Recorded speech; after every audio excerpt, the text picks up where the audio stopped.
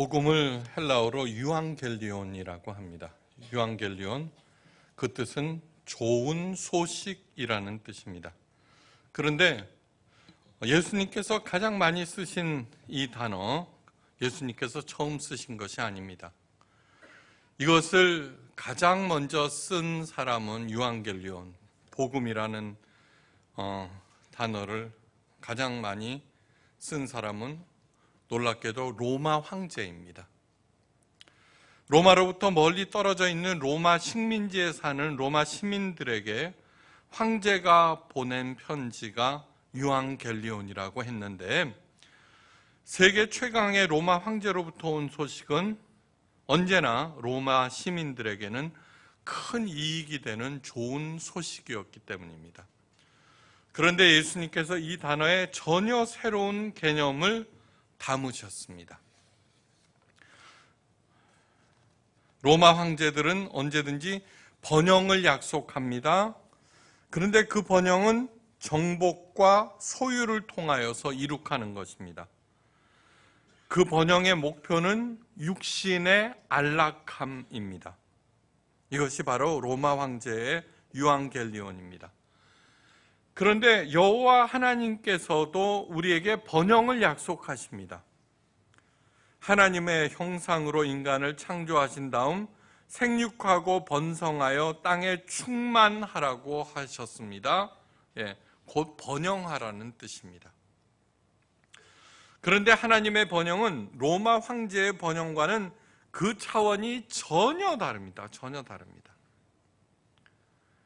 새신자 교육에서 어, 기독교라고 하는 종교는 다른 모든 종교의 차원과는 전혀 다른 것을 배우게 됩니다. 예. 수님께서 가르치신 번영의 차원도 전혀 다릅니다. 여호와 샬롬이라고 부르는 하나님의 번영은 단순히 몸의 안락을 넘어서 몸과 마음과 영혼의 소생과 그 다음에 확장을 의미합니다. 로마 황제의 유앙겔리온 번영은 소유와 획득을 통해서 이루어지지만 여호와 샬롬 하나님의 번영은 하나님과의 관계를 통해서 이루어집니다. 하나님과의 관계. 세상살이에서도 다른 사람들의 관계가 중요합니다. 특히 중요한 사람들과의 관계는 성공의 필수 조건이라고 어, 말합니다. 그래서 사람들이 인맥을 굉장히 중하게 여깁니다. 네. 로마 시대 때에는 최고 인맥이 바로 로마 황제와의 관계입니다. 그런데 이 로마 황제와의 관계는 대단히 일시적인 것이고 또한 가짜라는 것이 로마 황제 자체들이 증명해 주고 있습니다. BC 27년에서 AD 284년까지 예, 대략 300년 동안 로마가 이렇게 동서로 분열되기 직전까지 모두 49명의 황제들이 있었습니다. 그러니까 평균 재임 기간이 6년 정도밖에 되지 않습니다. 원래 황제는 종신입니다. 근데 6년입니다. 평균. 그런데 그 49명 중에 25명의 황제가 암살을 당합니다. 두 명 중에 한 명. 네. 그러니까 황제가 됐다 그러면은 언제나 자기가 암살 당할 것을 조심해야 합니다. 그 중에 네 명은 스스로 목숨을 끊었고 암살이 두려워서 황제의 자리를 거절한 장군들도 꽤 되는데 그 양반들은 참 현명하다고 할 수 있습니다.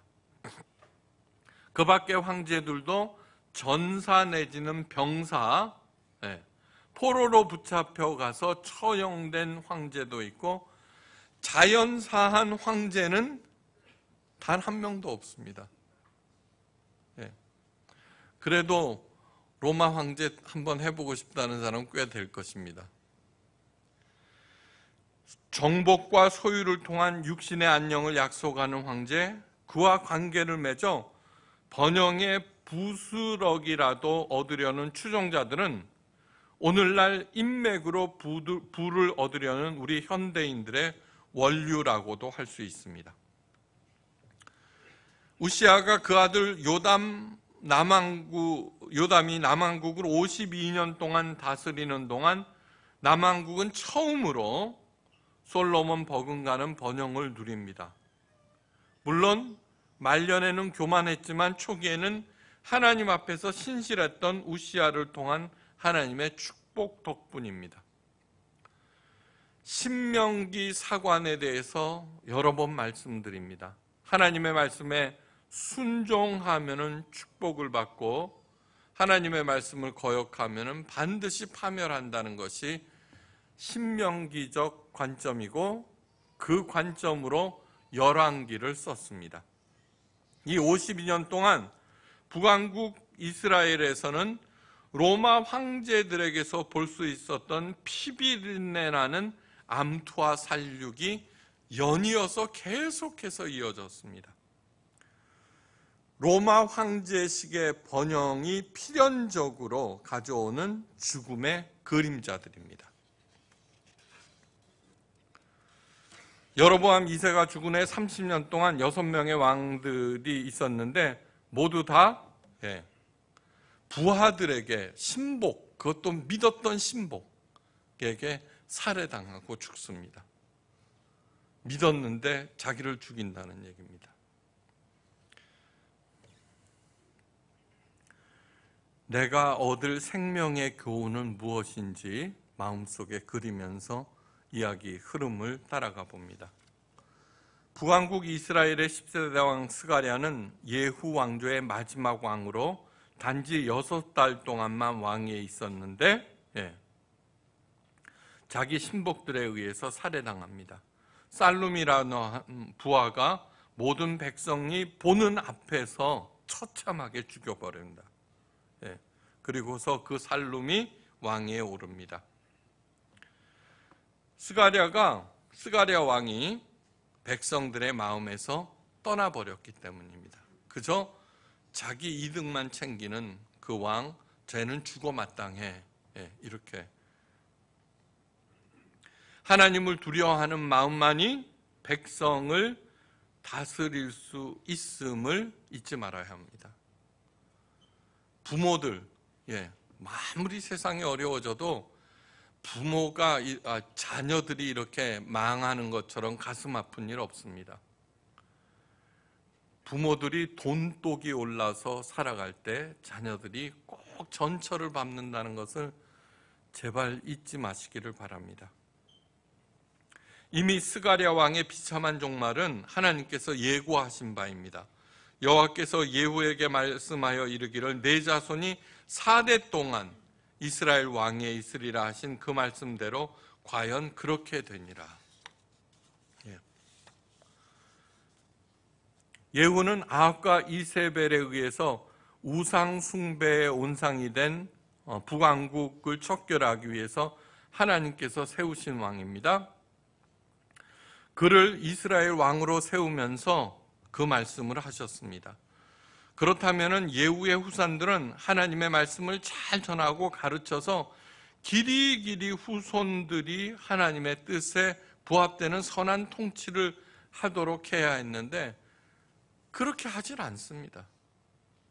우리들이 끝도 없이 그렇게 하나님의 말씀을 들으면서 여전히 로마 황제가 약속하는 번영을 쫓아가는 그런 사람들이 굉장히 많습니다. 어떤 사람이 이런 얘기를 하더라고요. 개천에서 용난다는 사탄의 속삭임에 빠져서 그저, 그저 개천에서 용만 쓰다가 끝난다. 예. 사탄은 용의 모습이거든요. 하나님께서 약속하셨습니다. 내 하나님 여호와는 질투하는 하나님인 즉 나를 미워하는 자의 죄를 갚되 아버지로부터 아들에게도 3, 4대까지 이르게 하거니와 나를 사랑하고 내 계명을 지키는 자에게는 천대까지 은혜를 베푸시느니라. 네. 오늘 말씀을 통해서 전혀 새로운 패러다임의 번영관을 갖고 그 일로 나가시기를 간절히 바랍니다. 그래서 모든 가정들이 천대까지 하나님의 복을 향유하십시오. 스가랴를 죽이고 왕이 된 샬롬의 운명도 형통할 리가 없죠. 왕위에 오른 지 한 달 되었을 때 문하엠에 의해서 예, 샬롬이 목숨을 잃습니다. 예. 그도 샬롬의 그 부하, 예, 믿었던 부하입니다. 샬롬은 신문대로 거둡니다. 성경의 기록. 야베스 아이들 샬롬이 그를 반역하여 백성 앞에서 쳐 죽이고 예, 문하엠이 쳐 죽였다는 얘기입니다. 이거 뭐 그 가다피가 백성들이 보는 앞에서 무참하게 그렇게 되었다는 얘기입니다. 그렇게 왕에 오른 문하햄은 예, 원래 이스라엘의 군부 최고 실력자였습니다. 국가적 위기를 이용해서 권력을 사람, 잡은 사람들은 우리나라는 물론 전 세계적으로 흔하는데 그 사람들의 말로는 다 똑같습니다. 예. 오늘 본문에서도 문하엠에 대한 평가가 평생 여로보암의 죄에서 떠나지 아니하였더라. 여로보암의 죄가 뭘까요? 평생 떠나지 않아. 단 한 번도 좋게 생각해 본 적이 없다는 얘기입니다. 맨날 뭘 훔치고 어, 그걸 꾸미고 그랬을까요? 아니요. 여기에서 얘기하고 있는 것이 뭐냐 그러면은 바로 로마 황제의 번영을 추구하는 사람. 내가 만약에 소유와 획득을 통해서 번영하겠다는 생각을 갖고 있는 한 나는 평생 여로보암의 죄에서 떠나지 않는 꼴이 된다는 거 얼마나 무서운 얘기인지 한번 아시기 바랍니다. 이렇게 교회에 나와 갖고는 열심히 번 돈을 갖다가 헌금까지 내고 시간, 에너지, 막 정성 그러면서 나는 평생 그 악에서 떠나지 않을 수 있다는 것을 심각하게 생각하시기 바랍니다. 무자비함으로 왕위를 찬탈한 문하햄은 강력한 군부 통치로 그의 권력은 10년간 이어집니다. 권불 10년, 불의한 권력이 10년을 넘기지 못한다는 말입니다. 문하햄의 10년도 결코 평안치 않았습니다. 최대 장애물은 신흥 강국 아수르였습니다. 아수르 왕이 왕 불이 와서 그 땅을 치료함에 문하햄은 은천 달란트를 불에게 주어 그로 자기를 도와주게 함으로 나라를 자기 손에서 세우고자 하였더라. 아스루 왕이 쳐들어왔습니다. 그러자 문하햄이 은 천 달란트, 은 한 달란트는 3.4kg. 그러니까 은을 3.4톤이나 3.4톤이나 예, 불에게 갖다 바치면서 예, 자기 자리를 보존하였다. 오늘날 금소, 어, 금액으로 환산하면 3천억 원 정도입니다. 예, 뭐 어마무시한 돈입니다. 그 돈을 어떻게 마련했느냐? 부자들에게 50세계씩 강탈하여 만들었다고 되어 있습니다. 은 50세계는 현재 돈 한 천만 원 정도인데 예, 그 당시 농경사회 천만 원은 엄청난 돈입니다. 옛날에 고등학교 때 제 친구 평택에서 배나무 2만 주를 하는 그 일대의 거부입니다. 그 집에 놀러 가고 그러면 이제 방학 끝나고 이렇게 올라올 때 어머니가 있죠. 차비 마련해 준다고 그 부잣집에서 온 동네를 다니면서 현찰을 구합니다. 농경사회에는 돈이 없습니다. 근데 천만 원씩 빼앗아서 문하엠에 대하여 말하건대 이것은 아수리 아수르 연대기에 적힌 문하엠에 대한 기록입니다. 문하엠에 대해서 말하건대 짐이 그를 눈부라처럼 위협하니 그가 한 마리의 작은 새처럼 꽁무니를 빼더니 내 앞에서 무릎을 꿇었도다. 짐이 다시 그의 자리를 되돌려 보내고 짐에게 조공을 바치도록 하였노라. 예. 문하햄은 큰 힘 앞에서 한 마리의 작은 새처럼 벌벌 떨었다는 얘기입니다. 그 치욕스러운 10년 끝나고 문하임이 죽습니다. 어. 그리고 나서 부가히아가 북왕국 17대 왕이 되는데 부가히아는 어떻게 돼요? 또 암살당합니다. 베가에게. 베가는 20년간 이스라엘 통, 통치합니다. 베가가 배짱도 좀 있는 두둑한 전략가여서 겁도 없이 중동의 신흥 강국 아수르에게 대항하여 어, 그렇다가 어, 북왕국의 패망을 자초해 버립니다. 이 말씀들은 어떤 것이냐 그러면은 사도 바울이 이런 얘기를 합니다. 우리가 먹을 것과 입을 것이 있은즉 자족한 줄을 알 것이라. 오늘 아침 안 굶으셨죠? 다 옷 입고 오셨죠? 그러면 자족한 줄로 알라. 이 자족은 뭐냐 그러면 이만하면 넉넉해. 하나님 감사합니다. 그 마음입니다.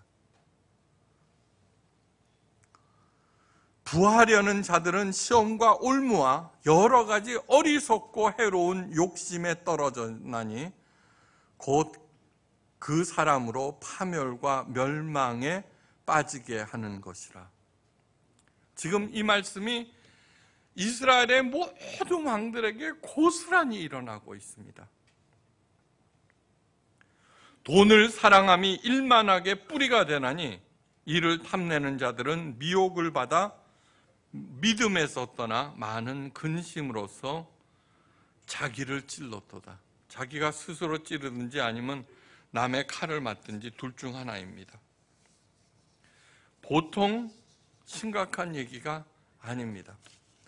다시 말해서 로마 황제의 번영을 추구하는 사람들은 반드시 이러한 말로를 겪고 악에서 떠나지 않는다는 거 여러분 명심하시고 오늘 이 시간부로 하나님의 번영을 추구하시기를 간절히 바랍니다. 네. 왜 그렇게 패망한다고 수도 없이 말씀드리고 또 이러한 얘기들을 하는데도 불구하고 여전히 네. 사람들은 책임은 안 지으려고 그러면서 그 자리에 따르는 특권과 보수에는 눈독을 들이고 그래서 수단과 방법을 가리지 않습니다. 내가 왕을 찬탈하였습니까? 반드시 후임자들이 어, 저 왕권 예, 찬탈할 수 있다. 그래서 로마 황제나 북왕국이나 끝도 없는 암살이 이어지는 것입니다. 자녀들에게 그러한 삶을 그저 개천에서 욕만 쓰는 그런 삶을 남겨주시기를 원하십니까? 아니요. 네. 최초의 살인은 형제 사이에서 일어났습니다. 범인은 형 가인입니다. 그런데 가인의 이름의 뜻이 무엇이냐 하면은 바로 소유와 획득입니다.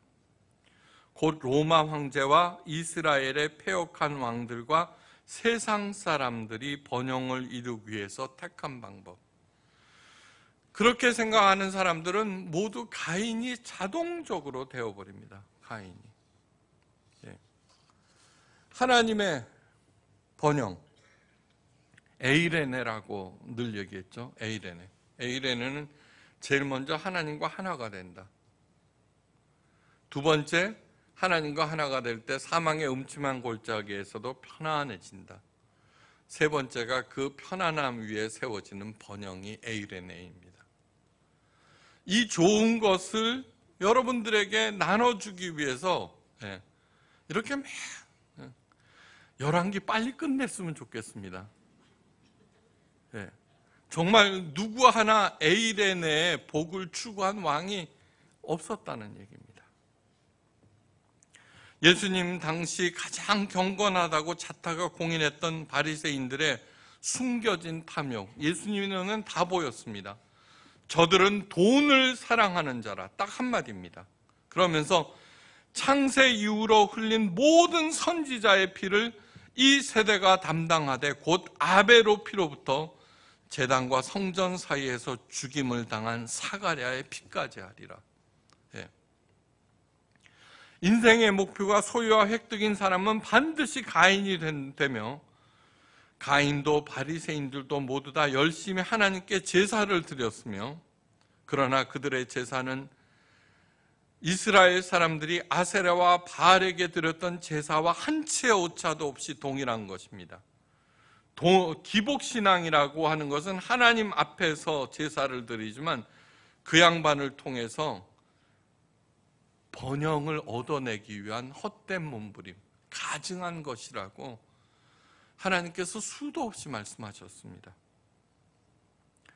진짜 번영은 하나님과의 올바른 관계에서 이건 하나님을 그 누구보다도 가장 사랑하는 것. 사랑은 있죠. 2등이 없습니다. 공부 2등만 해도 최고고 2등 부자도 부자고 근데 사랑이 2등이 없습니다. 예. 집사람이 저한테 당신을 사랑해 흐뭇해 합니다. 그런데 두 번째야. 그러면 만세 할까요? 어떤 놈이야 할까요? 사랑에는 2등이 없습니다. 제발 하나님을 가장 사랑하시기를 바랍니다. 그렇게 사랑할 때 그분의 말씀에 귀를 기울이게 되고 그분을 가장 사랑할 때 그분이 말씀하셨으므로 내가 그렇게 살아갑니다. 그것이 준행이라고 하셨습니다. 하였습니다. 아샤. 준행은 뭐예요? 그것을 생각하고 내가 판단하고 행동하는 것이 아니라 들었음으로 행동하는 것입니다. 사랑하는 사람이 하라고 그랬으니까. 그리고 난 다음에 그 명령에 따른 복을 향유하게 됩니다. 예수님께서 말씀하십니다. 너희는 먼저 그의 나라와 그의 의를 구하라. 그리하면 그 모든 것들을 너희에게 더하시리라. 전도하라는 뜻이 절대로 아닙니다. 하나님의 통치가 곧 그의 나라를 구하는 것입니다. 내가 그분의 통치를 인정합니다. 어디서도요. 하나님의 의, 어떠한 경우에도 불의를 행하지 않겠습니다. 조작하지 않겠습니다. 속이지 않겠습니다. 그러면서 뚜벅뚜벅 가는 것. 그럴 때 하나님께서 그 모든 것들을 다 더해 주신다는 것입니다. 그 복을 절대로 잃지 않는 저와 여러분 되시기를 주의 이름으로 축원합니다. 기도하십니다. 하나님 아버지, 하나님을 가장 사랑합니다. 그러므로 하나님께서 하신 그 말씀 사랑함으로 무조건 행합니다. 순종함으로써 하나님께서 주시는 에이렌의 번영을 누리고 베푸는 모두가 되게 하옵소서. 머리 숙여 감사드리며 모든 말씀 예수 그리스도의 이름으로 간절히 기도하옵나이다. 아멘.